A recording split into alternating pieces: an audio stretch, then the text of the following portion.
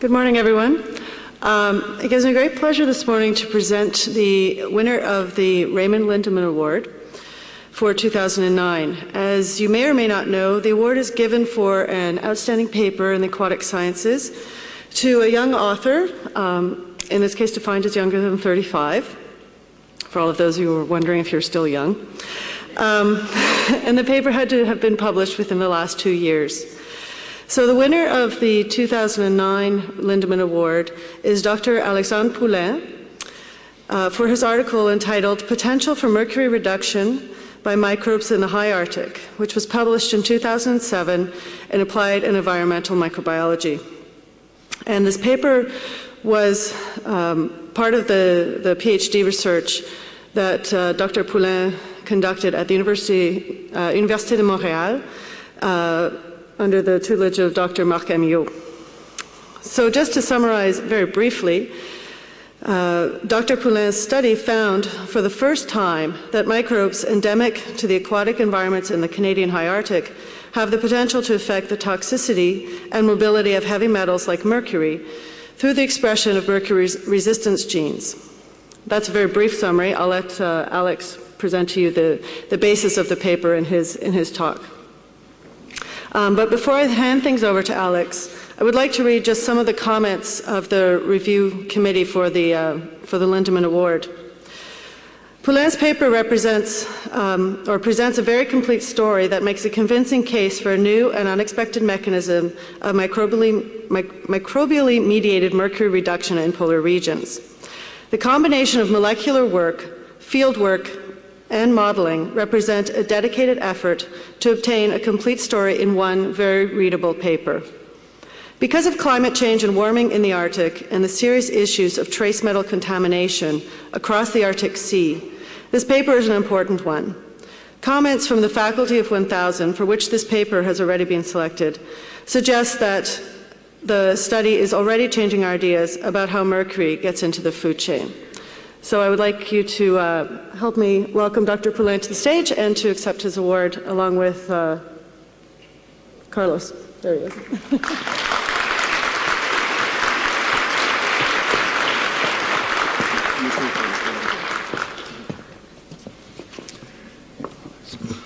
It is my great pleasure and honor to present Alex Poulain with the Raymond Lindeman Award for the outstanding paper in aquatic sciences by a young science, scientist for his paper on potential for mercury reduction by microbes in the high Arctic, published in Applied and Environmental Microbiology.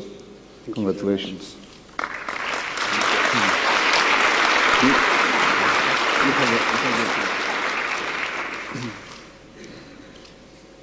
Thank you. Well, good morning. It's, it's a real pleasure to be here, and, and um, thanks, Beatrix, for this very nice introduction. I uh, would like first to thank ASLO, the awards committee members, and uh, the chairs to, uh, for believing that this paper was worth of this year's Lindeman Award. Um, uh, it's, it's, quite a, it's quite an honor and quite a humbling experience considering the scientists who previously received this, this award.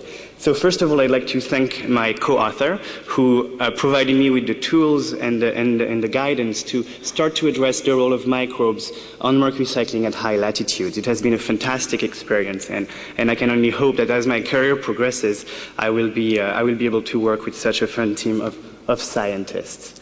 So in the remaining time of this talk, I will just try to tell you a short story of mercury in the high Arctic. Um, mercury is the only metal to be liquid at room temperature. Uh, it is a soft metal with a great affinity for thiol groups, which actually is the base of its toxicity. Three forms of inorganic mercury are environmentally relevant, from uh, the divalent to the elemental state. Um, two forms of organic mercury are naturally occurring in the environment are, and are particularly toxic, uh, methylmercury and dimethylmercury.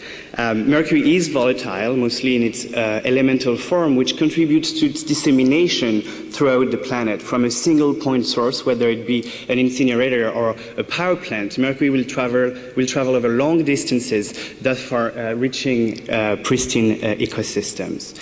mercury has seven stable isotopes, and I'm just hinting at this today. Uh, this is a fascinating field that is actually extremely active, uh, namely with the great progresses, the great analytical progresses that now allow us to, to uh, observe mass-dependent and independent mercury fractionation. So we're quite far from, from having, having this uh, routinely analyzed, but this provides hope for the development of, of tools to better track the pathways and transformation of mercury in the environment. And what makes mercury so special and fun is that it can undergo reduction, oxidation, methylation, and demethylation uh, via abiotic and biotic transformations.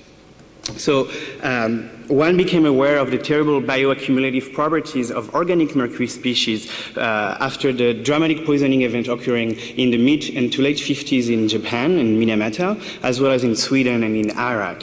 And um, the link between inorganic mercury and methyl mercury was made 40 years ago in 1969 by a paper published in Nature by Jensen and Jernelöv, which actually tell us that mercury is indeed methylated in aquatic ecosystem. Uh, this, has somehow, this is somehow related to the activity of, of, of the biological component of this ecosystem and, um, and occurs under anaerobic conditions. 40 years later, mercury is still the focus of extremely active research, and I just highlight, highlight here a paper by uh, Jeffra Schaefer and François Morel published in Nature Geosciences two weeks ago, just to, uh, just to underscore the fact that, that ex exciting research is, extreme, is still going on, obviously, on the topic of mercury methylation, which still remains uh, unelucidated.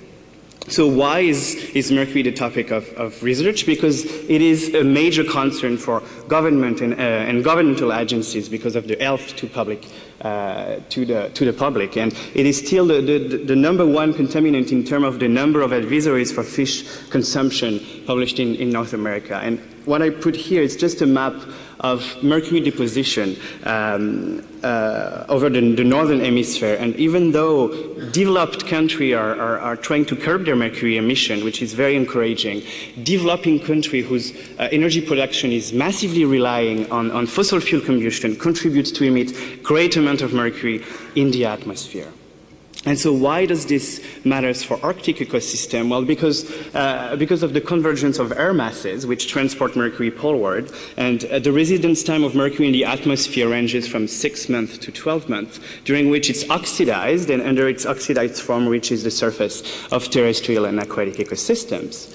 Combined to this, there is a very peculiar phenomenon discovered uh, 10 years ago by, by a team of, of, Canadian scientists, which is uh, called mercury depletion event. And it occurs during polar sunrise. It is associated with, with the sea salt and the brominated component of the sea salt that act as, as, as oxidant uh, upon photochemical reactions. And we observe a, a rapid transient and quasi-complete depletion of the pool of atmospheric mercury. And you observe a wash off of the mercury that is present in the atmosphere that gets deposited at the surface of, of, of, of snow. And, and even though some part of this mercury is getting um, evaded back to the atmosphere, there is a need to understand what is the post-depositional fate of this, uh, of, this, of this mercury, especially considering now the increasing uh, uh, commercial exploitation of northern resources. It becomes, it becomes important to be able to provide tools for, for policymakers and legislators to, to uh, develop sound and sustainable uh, strategies of development of those, of those resources and potentially develop bioremediation strategies. So I was mostly interested in, in redox transformation because they can, one, alter the pool of mercury that is methylable, that leads to the production of the neurotoxin, and thus, and then being uh, bioamplified, but also because it controls the formation of the elemental mercury, which is the volatile form, that can thus leave the ecosystem via evasion. And so this work took place on the beautiful island of Cornwallis Island in the Canadian High Arctic. And the paper studied today is part of my, of, of my uh, PhD thesis. And, and I, I, I, the, goal of my, the goal of my graduate work was to actually compare uh, boreal and Arctic ecosystem during winter time. And from this Arctic experience, this paper is part of a series of three other papers that looked at the, the distribution and the redox transformation of mercury at high latitude. And, and first, I just would like to set the stage for the study. And because the Arctic, the Canadian Arctic is a, is a, is a mix of islands, it was important to us first to actually try to characterize the distribution of, of mercury uh, inland, uh, with inland uh, freshwater and coastal marine system. And so we, thanks to the, thanks to the fantastic skills of, of Newfoundland helicopter pilots, we were able to uh, sampled within a day throughout Cornwallis Island over 150 kilometers um, uh, for total mercury in surface, in surface snow. And what we observed is that actually over sea ice, the total mercury level were the highest. And most of this mercury, over 80% of the, of the mercury found in coastal system was bound to particles. So I, because, because the snow accumulation is a very dynamic system, both physically, uh, chemically, and physically, and uh, biologically, sorry, it, it was important to actually try to understand what's going on with depth, because as you may know, uh, snow accumulation is, per, is, continuously undergoing metamorphism and transformation, and this will affect the distribution of uh, biological and chemical uh, uh component of this, of this uh, snowpack. And so as you can see here, even though over uh, lake ice, the pattern is quite, quite straight, over sea ice, you can see uh, an increase by, by two order of magnitudes of the, of the total mercury concentration. And this is most likely related to the fact that because of this snow metamorphism occurring within the snow accumulation, the mercury that is actually associated to particles settles down the accumulation and is accumulated uh, at, uh, at this location. So then I just wanted to see, well, what's going on during snowmelt over this, you know, this transect, and, and what is the potential for the ecosystem to get rid of this mercury. And here I just present you data that, that, that, that are actually um, uh, characteristic of the photoreduction, photoreduction uh, experiment, because uh, mercury is photoredox active. And what you can see here, as, if you will, as a proxy of its capacity to leave the ecosystem, um, we can see it's the rate of mercury reduction. And as you can see, the rate dramatically decreases as salinity increases. And so here's the, the set, I think the stage is set for this. And so the chemistry suggests that polar marine coastal systems are more likely to be sensitive to mercury contamination. And the question I had was, well, do we see a biological response to this mercury stress? And um, microbes have actually a fantastic way to alter the chemistry of their environment. And I focused on, a, on an operon that is called the MER operon, which is a sequence of gene coding for mercury uh, uptake, binding, and transformations. And transformation can be the demethylation, which is first the degradation, the destruction of the methyl mercury, and then the reduction, which is the transformation of inorganic divalent mercury to volatile elemental mercury. And the focus of this work was, this, uh, was a gene encoding for the mercury reductase, the MER-A, which is actually uh, the core enzyme of this, of this operon. So first of all, I, I, wanted to, um, I wanted to make sure that we were working with, with microbial populations that were endemic to uh, or characteristic of polar uh, ecosystems. And we sampled biomass from uh, epiphytic community thriving on, on sea algae. And so we went to collect uh, we went to collect uh, you know, microalgae thriving in those sea ice leads during the, during the ice breakoff, and some typical microbial mats thriving on the, on the coast. And so as you can see here, and I'm just going to go briefly through this, uh, in, in red and blue, we covered the, the, the diversity of, of gram-negative proteobacteria and cyanobacteria, and as well as gram-positive organism. And, and in green is highlighted, uh, highlighted the clones that are coming from, from GenBank, and as you can see, most of them are uncultured, just underlying the fact that the diversity of microbes that are psychrophile or psychrotolerant adapted to cold environments remains quite, uh, quite uh, unknown. So then we went on and tried to uh, look for those genes uh, characteristic of the mercury reductase. And uh, we had to develop, uh, we extracted genomic DNA and total RNA. And as you, as you may know, working from environmental sample is, is quite a hard task, especially when we try to amplify, uh, amplify genes of environmental relevance. And we had lots of non-specific bindings of our primers, and we had to just develop a strategy to actually first amplify a 1250 base pair, and then use this as as a template to amplify a much smaller fragment of 300 base pair roughly that is coding for the, for the core of the MER-A. And following this, we just generated a clone library encompassing the, the diversity of MER genes and their transcript in Arctic ecosystem. So the fact that the genes were present was not that surprising because bacteria have very smart ways to transfer information. And, you know, they can transfer virulence factor, they can transfer antibiotic resistance, and they can also transfer uh, mercury resistance uh, genes via what, what's so-called transposon, which is a very, very cool way to transfer genetic information from, one, from an organism to the other. What was really cool, however, is that we actually found the transcript, that those genes were expressed in the, uh, in the Arctic environment. So I think this graph is, this graph is, is, I find this graph particularly interesting because it really put things into perspective. So this represents the diversity of our uh, DNA and RNA clone libraries, both for sea ice and coastal lagoon. Each color or patterns represent a type of sequence. And as you can clearly see here, the diversity of the genes present in an environment is not reflecting what is actually expressed. And this is something that, is, that I think needs to be kept in mind when one wants to actually address the role of, of or when one tries to go fish for genes in the environment. There is a need to understand uh, what's happening at the transcriptional, at the transcript level, and even further at the protein level, obviously. So. Um, Metagenomics has been providing fantastic tools, reconstituting, reconstituting whole genomes, providing us with a wealth of information pertaining to the metabolism of this microbe. Uh, and, and, transcriptional analyses are actually quite common when working with pure culture or, or simple co-culture using, for example, microarrays. But I believe that uh, meta-transcriptional analyses from environmental sample are quite, uh, are quite challenging still because namely of the overwhelming dominance of non-coding ribosomal RNA. And, and, but I trust that it seems that it's, it's, it's, it's moving very fast, and I'm looking forward to see actually uh, soon um, uh, paper, papers detailing this, this type of, of studies at, the, at, a, at a much bigger scale.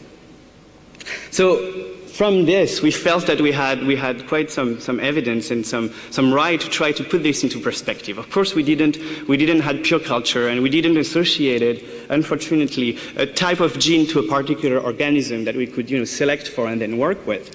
And so what we did is that we used a modeling approach. And uh, we just wanted to see how this process could be important and, and, and what would be the role of the microbial component of, uh, of, um, of, the Arctic in terms of, of redox transformation of mercury. And I've been mostly, uh, you know, we, we, have been doing in situ incubation experiment looking at photoreduction and photooxidation of mercury. And I just wanted to see how they can compare how biology can actually stand up against those photochemical reactions, which are uh, often known or thought to be the, the one ruling the, the redox chemistry of mercury. And we tried to use uh, a very simple model using the Stella, Stella software, which was extremely, extremely user-friendly to, to, uh, to, um, to, to um, develop. And we used a very conservative approach. So thanks to, uh, thanks to the, um, uh, starting from the, our total cell count, we assumed that only 1 to 5% of the cells that were in our sample were physiologically active. From uh, this 1 to 5% of the cells, only 1% were actively expressing mercury-resistant genes. And uh, from this, you know, pool, they were only reducing mercury to 1% of the rate that were actually observed under laboratory condition. And this just underscores and tells you how little we know of in situ expression of those, of those genes and how actually the protein, which is what really matters, is running under low temperature conditions. And here's what we, here's what we, we obtained. And so as you can see on the top graph here, which represents the surface data, of course, when you increase the, the, the percentage of cells that are, that are active from 1 to 5%, there is a great increase of the, of the pool of bioreduced mercury. But clearly, even under those conditions, there is a great contribution from the biological component of the ecosystem. And as uh, as um, uh, we go deeper in the water column, and an oceanographer will forgive me to present the water column that is only 15 meter deep. This is probably my, my limnological background speaking here, but anyway, the, the, the model speaks the same when you consider the whole, the whole mixed layer. Uh, actually, because of the, the decrease in light intensity at depth, uh, the microbes are poised to actually rule the, the, the redox cycle of mercury, or its reduction, uh, um, as soon as the photic zone and the, where photochemical, where photochemistry is active is, is passed. So just to, I'm concluding now, and, and here's what we knew of the, of the mercury cycling in the Arctic. Mercury is oxidized, gets deposited onto aquatic uh, ecosystem. It can be photochemically uh, reduced back uh, transformed by microbe into methylmercury, gets into the food web, or being demethylated again by bio uh, by uh, photochemical transformation. But we just show that actually microbe has to be taken into consideration, and they're using MER-A. But I just mentioned earlier on that that there are other genes coding in this operon, which has which is MER-B, which actually codes for the for the uh, methylmercury lyase. And we didn't we didn't look for those genes, but it's it's expected that they are that they are present up there. And in that case, there is a potential for microbe to not only alter the redox chemistry of mercury, but clearly detoxify the environment and get rid of the, of the methylmercury. And this slide also shows you here uh, actually that I put microbes in the atmosphere. And I think this is a very, very exciting field that is, that is being developed. It's looking at the biological component of the atmosphere as possibly uh, uh, altering the redox state of mercury. And I won't, won't go further into this, but this is something to keep in mind for further, for further research. And, uh, and then that's, that's fine. And just um, let, me, let me take a few seconds to actually uh, uh, acknowledge uh, two people. As a young scientist and as my career progressed, I've been blessed to interact with both Marc Amyot, who was my, who was my PhD advisor, and Tamar Barkay that I met when I first did my master's at the experimental lakes area, and they have been providing fantastic guidance throughout, throughout the, the, the early, the early years, and I am extremely grateful to them for this. Uh, all my friends who actually accompany me to the, to the field. Uh, Arctic fieldwork is quite demanding, and I've been blessed by working with fantastic people. And uh, my colleagues at, uh, in the University of Montreal and, and now currently in the Newman Lab at MIT for extremely stimulating discussion and all the funding. And thank you very much for your attention, and thank you again for this fantastic work.